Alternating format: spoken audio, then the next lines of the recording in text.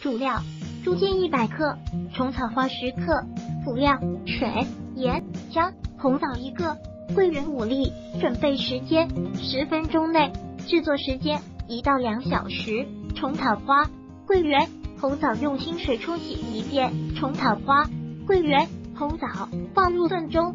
猪腱洗净切块放入炖中，再放入几片姜，加入适量山泉水，炖两小时。加入少量盐即可饮用。烹饪技巧：我是放入电饭锅炖的，火候比较均匀。